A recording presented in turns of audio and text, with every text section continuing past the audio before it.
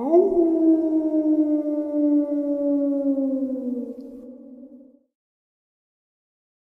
Greetings and salutations, everyone. I hope everyone is doing well still, and welcome to, depending on however you may look at your clock or wherever you may live, this middle of the night or early morning bonus upload. Before we jump into it, a couple links. As many of you know, I rely on Patreon, PayPal, channel membership, and the merch to help the channel to continue to grow and go. Links to Patreon, PayPal, and channel membership is in the description below merch displayed directly under the video. Also, Dogman Frightening Encounters, Volume 1 through 3, the audiobook versions. They were written and researched by Tom Lyons, narrated and produced by me, Jeff Nadolny. Those audiobooks are available on Audible, Amazon, and iTunes, links to which are also in the description as well. And finally, last but definitely not least, if you'd really like to help support the channel to continue to grow and go, simply subscribe. It does not cost a cent. Click the like button, takes half a second. If you don't want to miss out on any of the informative uploads I put out daily, click that bell icon and folks, please leave a comment. Why? Well, because all of these things really do help the channel to continue to grow and go. And folks, they definitely do matter. Now, everyone, I have taken far too much of your time. Let's jump in to this early morning or night ending bonus upload. Today's first encounter. I swear on the highest honor I can muster that everything in this experience is true, all true, no matter how badly I wish it was not. There isn't much to do in the rural parts of Pennsylvania, what some call Pennsyltucky. Like most parts of rural America, popular pastimes include drinking oneself into a stupor and driving an uninspected 1983 Ford F-150 double the speed limit down a narrow, rarely maintained road. I, however, occupy myself when I can by hunting. It gets a bad rap as barbaric, cruel practice, but I've always found solace in the forest that is impossible to find in a cramped, too close for comfort atmosphere of the small town. This particular season, I was out in early November in the forest of the foothills of the Appalachian, a few miles away from my house in northwest of Harrisburg. It's late fall season, steady flow of foliage tourists, what we call leaf peepers, were beginning to trickle to a stop.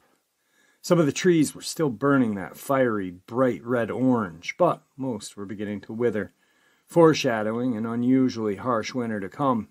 The fall leaves created a curtain of decay which moved like a sandstorm in slow mo, shrouding and isolating me from my surroundings and crunching softly under every footstep. I paced through the temple of red and gold, alert to the light footsteps, the white-tailed deer. My Winchester 30-06 swayed on my back as I walked. The gun was overkill for a deer, but it doesn't pay to take chances around big game like elk and black bear. This forest was new territory for me, a refreshing change of pace after paved trails and subdivisions began to encircle the hunting grounds of my childhood. As I walked, I began to lighten my guard, losing focus on the wildlife and becoming engrossed in the natural beauty of the area. I became so distracted, peering up at the falling leaves, that I tripped over a tree root snaking through the carpet. I followed it with my eyes to the termination at the base of a massive gnarled oak tree. The trunk was huge, but the tree was squat, blackened with age, and split down the middle as if an act of God. This story could have ended right then and there if it wasn't for the smell that wafted up to me as I passed the tree. It wound its way up from the tree's base to a swell in the ground to the rised path I was walking on. Pushed the crisp smell of the forest aside, my first thought was dead animal, which could mean bear in the area, so I circled the tree to take a look. There was no carcass, but the scene at the base of the tree resembled a homicide. Dark, matted clumps of fur dotted the undergrowth. A vicious black fluid led from the forest into a hollow, overshadowing by a titanic root leading deep into the ground. The entire picture was punctuated by the same rank smell, a thick coppery scent like pennies mixed with death. I'm not unused to the gritty, even downright disturbing scenes, but this scene made me retch involuntary, and the den unsettled me deeply, as though I had stumbled upon something no one should ever see. Shaken, I moved back onto the trail, against my better judgment, resumed my search for the deer. The sun began to beat down overhead with all the clarity of a winter's day, shining and demanding light on the forest, and weakened my resolve. I just began to unpack my lunch when something began to bother me. I couldn't put my finger on what it was, but I felt antsy, for a lack of better words, like I shouldn't be sitting around here. Without even knowing it, I began to scan my surroundings, something, anything. I was returning to my lunch when it hit me. The forest was silent. No birds, no insects, nothing. Even the rustle of the trees and the wind had come to an ominous standstill. As the meaning of this rationalization began to sink in, I got to my feet. Two things happened in rapid succession. A sizable branch snapped a few hundred meters away, and an ungodly screech penetrated the November air. I never heard a sound like it before or since. It was as if the earth itself split and hell opened up just long enough to sum up the suffering of the damned in one ear splitting roar. Terrified, I bolted my gun, leaned against a tree, and began to scan the undergrowth. Something big was moving through the forest floor, but I couldn't see what it was, thanks to the curtain of leaves falling around me. I hastily made tracks back in the direction I had come from, forcing myself not to look back. After all, what animal would actively stalk a human without even being provoked? I had lost the sound of the creature and began to loosen up a little when I was hit with a bone chilling realization. The sounds of the forest had come back behind me, but the trees in front of me were silent as a grave. Whatever I had encountered, probably the same beast that made that mess under the oak tree, had circled back in an attempt to trap me. Truly scared at this point, I scrambled off the path into a rock gully, my back to a damp rock wall. I crawled without taking my eyes off the path into the cave hoping to hide my hyperventilation and chattering teeth from whatever was stalking me. Only a few minutes had passed when I heard the crunching of the leaves and a deep demonic snorting. It stopped on the path above my hideaway. I held my breath, willing my heart to stop so it could be completely silent. The creature had began to move on when my gun, leaned against a rock, slipped off the slick surface. It clattered to the ground, reverberating louder then an air raid siren in a crisp autumn air. My heart sank as the footsteps made their way down the rocks closer to me. I crawled painfully slow toward my rifle, every muscle in my body tight enough to burst. I stopped to steady myself, my heart breathing, right outside the opening of the cave. It was choked, slavering breathing, unnatural, which inspired visualizations of twisted corruptions of human and beast, a patchwork demon of animal and man. I reached my gun and came to the closest to death I ever had, because as I outreached my hand, so it did. Instead of a smooth shellac of my rifle's stock, my palm met a coarse, ragged fur, caked with mud and attached to a lank, sinewy arm. The beast screamed, and, as I shouldered my rifle and fired blindly out of the opening, I caught a glimpse of a yellowed fang and one blood red eye. The eye that reflected more hatred than an ancient man, hatred that said, This is my forest. You may have altered it through your presence, corrupted it, but I was here before you, and I will be hereafter. Human willpower paled in the face of such uncompromising malice, and I shrank back against the rocks, robotically cycling bullets out of the cave. I sat there, dead eyed, doing this for a long time. Overnight and well into the next morning, over 18 hours of working a bolt and pulling a trigger, by the time I snapped out of my adrenaline fueled haze, my mouth felt like the desert, and my fingers felt as though they were made out of canvas stretched over dust, shaking I reached for my water bottle and gulped it down, spilling most of it down my front, praying the beast was long gone. I inched my way out of the cave and ran as fast as my rickety legs would carry me the two odd miles back to my truck, leaving most of my gear there. Nothing pursued me, but the feeling of being hunted remained. I drove back to town at 80 miles an hour on a dirt road, my eyes wide with fear, my hands gripping the wheel with white knuckles. Unable to bear the thought of my secluded home, I spent the night in a motel in town with a bottle of cheap whiskey and every light on in the room. The thought of a creature would not ex- exit my mind. Was it a demon? Loosed on the earth by some divine mistake, or just an animal, a cryptid lost to time and the memories of trees? I don't really know, and I really don't want to know. I couldn't, I still can't let it go. The fear eventually subsided, but as I sit at home writing this, I swear, hand to God, that I can hear that howl echo through the trees and across the mountains, telling me that I may never rest, never forget. Just really quick, I narrated that story about two years ago, and uh, that story has stuck with me throughout all of the encounters that I've narrated. Um, I've narrated some crazy ones. The one that happened in Delaware, uh, last year around this time. The EMT driver that was stalked with his partner. But that story has stuck with me for just a very long time. Um, I don't think it was a demon. I definitely think it was a dog man, just the way he described it. And uh, very lucky and, you know, a lot of people, when I first narrated it, were like, oh, 30 6.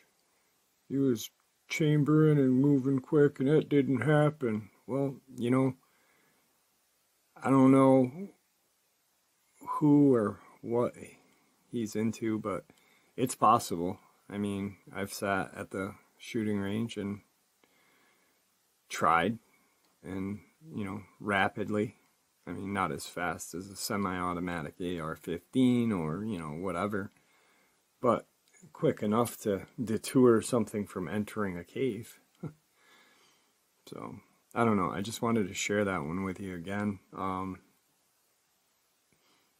in my studio, I have a big filing cabinet with all of the encounters that I've ever narrated, but there's a couple that are right in this desk drawer, and uh, that is one of them. So I just wanted to share that with you guys again. Moving on. Today's second encounter. I was hiking at the Barton Creek Greenbelt like I do most every week. I had decided to go off the trail, which I had done many times before. Except this time I went much deeper into the woods than I had before. I was following the river when I stumbled upon a cave. It was kind of small, and I would have to crawl on my belly to go into it and since I was alone, I decided to pass on that for the time being. Not long after, I found two more caves next to each other. These were much bigger, and I could see support beams not far inside. I approached the larger of the two and began to enter, when suddenly I saw a pair of red eyes blink from the darkness. This threw me off. I wasn't expecting to find anything there. I decided to leave whatever was in there alone, but on my way back, I passed the cave again. Curiosity took hold of me, and I decided to enter one more time. This time I saw no eyes, so I figured the thing from before had left. I went in further, where I heard shuffling deeper in the cave. I froze. The shuffling seemed to be going away from me. I started to back out when I heard a blood curdling, inhuman scream from the darkness. I bolted, not knowing what it was or what it would do to me. Today's third encounter. I've always been kind of paranoid, always been afraid of stuff that really isn't that scary. And, well, it may be my personality, but it can also be that I listen to a lot of scary stories. Yeah, yeah. This doesn't matter so much, but I wanted to say this so you could understand how observant and how much I react to uncertain things. So now, that I told you that. Let's get to the experience.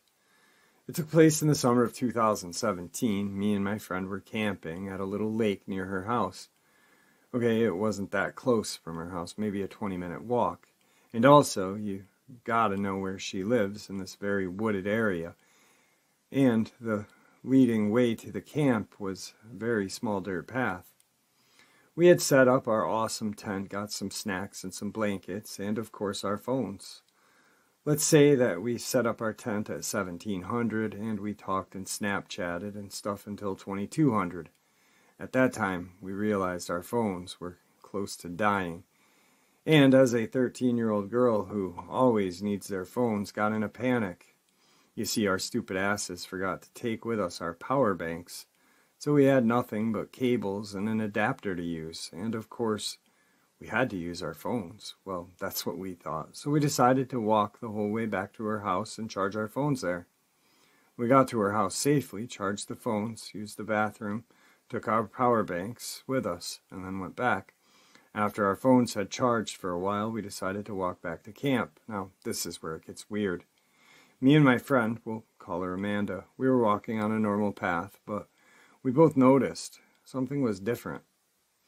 There was a weird noise, and it sounded like a screaming animal. The animal screamed, then paused, then screamed again, then paused. Both me and Amanda were very creeped out by this. Something was off about it, though.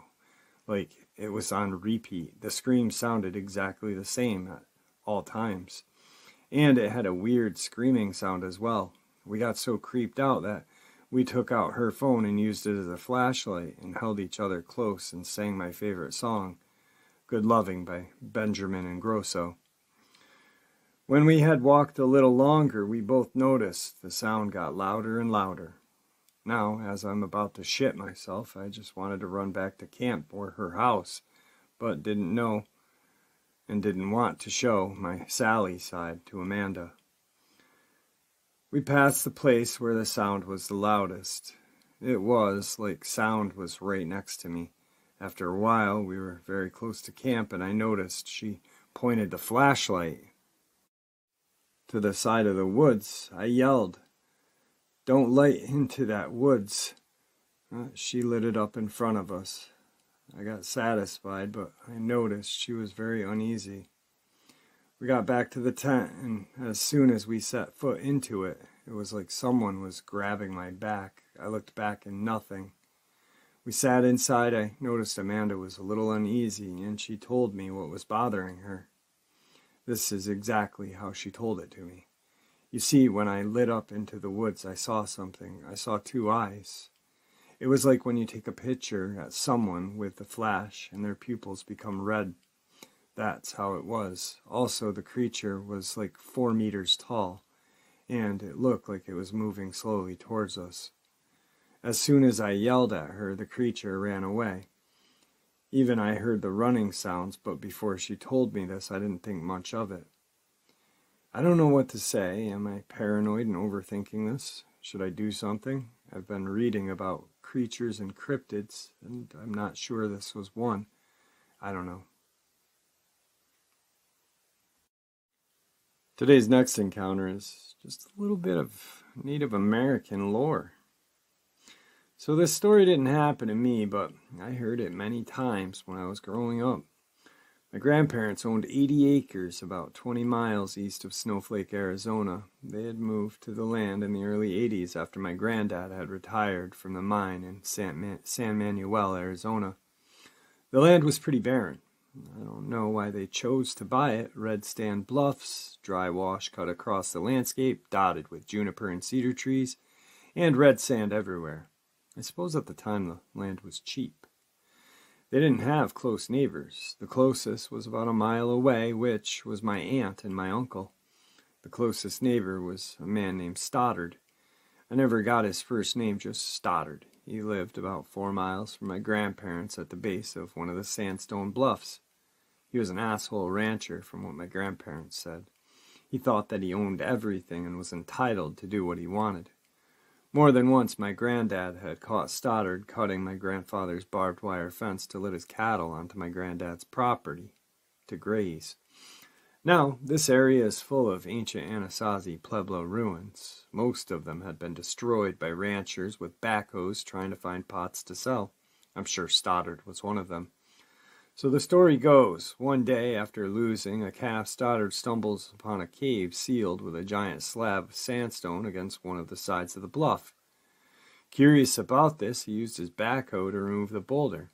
After going inside, he discovers it's an Anasazi burial cave. I'm sure he was delighted. He starts taking things from the burial cave and selling them. Well, from that moment on, he had some pretty bad luck. First, he lost about a half a million dollars in the stock market. Then his cattle all got diseased and died. In financial ruins, he gets another blow. His wife gets diagnosed with an extremely rare disease and passes away.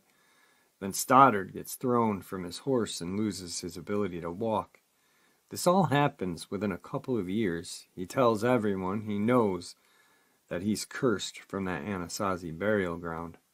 They laugh it off. Stoddard puts all the artifacts back that he still had and seals the cave back up with a boulder. He abandons all his belongings and leaves one night. This was in the late 80s. Fast forward a couple of years since Stoddard abandoned his ranch house, the land and house are bought by a man in California. He puts the ranch house up for rent. My aunt is pregnant with her first son and decides to move from San Manuel to Snowflake to be closer to his parents. Stoddard's house was fully furnished. My aunt and her husband moved in. He finds a job working nights at the local paper mill.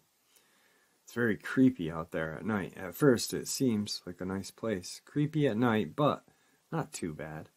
Then the weird stuff starts happening. My aunt starts hearing faint chanting and drums at night. She brushes it off. She had a hippie neighbor that lived about a mile away on the bluff, so she figured it must be doing them doing their hippie stuff.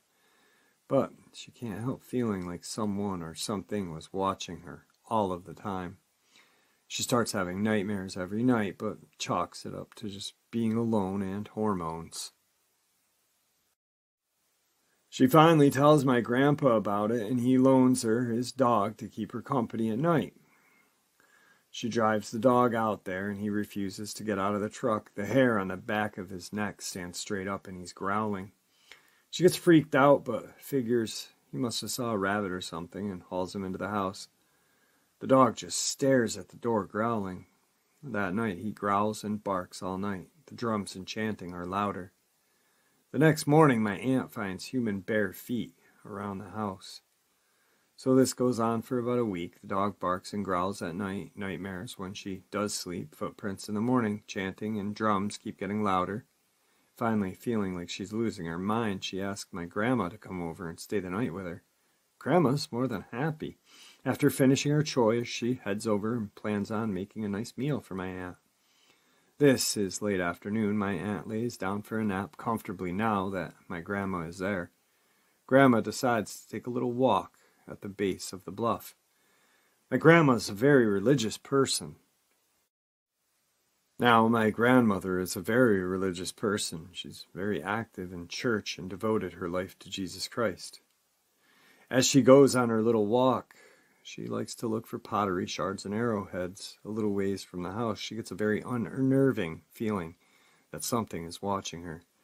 She said it made her skin crawl. She could do something evil, so my grandparent grandma prays and walks back to the house pleading the blood of Christ. She decides not to say anything to my aunt, who is awake because she's already frightened. She tells my aunt maybe it's better idea to stay at her house tonight. My aunt agrees. By the time my aunt gets her stuff together, the sun is about to set behind the bluff. Grandma, my aunt, and the dog all loaded up in the pickup. Grandma turns the key and nothing. She tries again, nothing. Not being very mechanically inclined, Grandma goes into the house and calls my grandpa, but he doesn't answer. She remembers he was going into town. Dang. They unload it and go back into the house and wait for Grandpa to get home. It's night now, no moon, pitch black. The dogs began to growl. The sounds of chanting and the drums begin, faint at first, but growing louder. My grandma begins to pray, and between calling Grandpa, remember, this is the time before cell phones. They hear something howl outside, not a coyote howl, something more ominous and terrifying. Something was moving just beyond the reach of the porch light. Both women are beyond terrified at this point. Finally, after turbo dialing Grandpa, he finally answers. My grandma's frantic. Alvin, something's outside of the house. Get here now. For what seems like hours, they wait for Grandpa's truck to come over the hill. Finally, they see the headlights. Before Grandpa flies into the driveway, something runs across the road in front of him. The headlights illuminate the animal.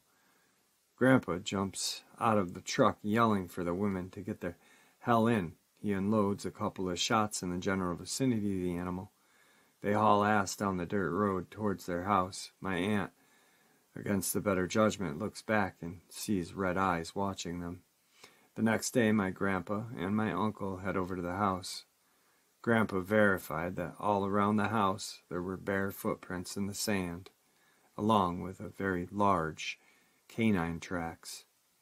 Needless to say, my aunt and grandma never went back to that house. My aunt won't even talk about it. I made the mistake of staying up late one night and listening to the adults talk. My aunt moved in with my grandparents. My grandma swears that she would have seen those red eyes at night stalking the edge of property. As far as I know, other people have tried living at Stoddard's house but leave within a month or so. The whole area, I believe, is cursed. I've always hated going out there. It's a very oppressive feeling of evil, even in my grandparents. Today's final encounter.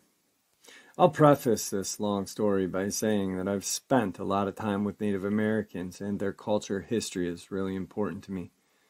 My dad grew up on the border near the Res in Alaska and was adopted by a family of the Inuit. And I spent a good amount of time with a friend who is Lakota. At the time of this incident, a friend and I were leaving Standing Rock, North Dakota after being there for about six weeks to drive home to Texas. We, for some reason, decided to go and see Mount Rushmore on our way back. And after being at Standing Rock for so long, we were very sour taste in our mouth, seeing American president's face carved into the mountains that were straight up stolen from the natives. So my friend decides that we're going to go to Wounded Knee. It's a few hours out of the way, but it's really important. Side note, it's about 11 at night at this point, but screw it. I was planning to drive straight through to Texas anyway. We should go and pay our respects, especially after being at Rushmore. Fast forward, GPS takes us straight to the main part, the gravestones, and the monument, plus a bunch of descriptive signs. I've never believed in ghosts, spirits, or any of that hoopla, but as soon as we parked, I was seized with a terrible fear. Can't move, refuse to get out of the car, struggling not to have a panic attack. Get the F out of here kind of fear. My friend gets out of the car and goes to read the memorials. I sit in the car, literally paralyzed with fear and terror. I look out the window and see two giant black dogs with red eyes. They're looking directly at me. All I could feel was this oppressive feeling that was almost a thought that we do not belong here in the word leave. We maintain eye contact as I literally start to shake and feel the most horrible feeling of sense of dread I have ever felt. Also, for the record, I'm a really tough lady. It takes a lot for me to get ruffled. I lay on the horn, and once my friend returns to the car, I tell her we need to get the hell out of here and now. I don't tell her what's going on, I just type Texas into the GPS with shaking hands and start to drive. Following the instructions, I leave, taking a bunch of turns, the roads I don't remember from the way in. And after about five minutes, we ended up right back at the exact same place at Wounded Knee that we were just at. Right then, feeling legitimate, actual terror and trying not to lose my shit, I tell my friend what's going on. She happened to be a stupid hippie who believes in shit like spirits and crystals and whatever, and she took me seriously. She pulls out her phone. GPS did the same thing to her. All I feel is dread, and I can't see those eyes. Out of my head, I decided to trust my hound dog senses at this point and just drive as far away as I can. My friend insists we throw off all the jewelry that we're wearing, and I drove in a clammy terror for at least an hour before I felt okay to speak. I still don't know exactly what we saw or what happened, but it still unnerves me. I still get goosebumps just thinking about it. All right, folks, there you have it. This early morning or middle of the night bonus. I hope you all enjoyed it as much as I enjoyed sharing it with you. I'd like to thank you all for supporting the channel. It is, after all, your support that keeps the channel growing and going, and honestly, what gives people a chance and a place to share their experiences and theories judgment free. Just simply treated with the respect that we all deserve. Thank you. Please, everyone, stay safe, happy, healthy, and ever vigilant, keeping an eye on our children, pets, family, and friends. These creatures are real, they are out there and dangerous. Share this information with the people you love and care about, and it may just help save their lives someday. Until next time, never stop asking questions, never stop searching for the truth, and God bless.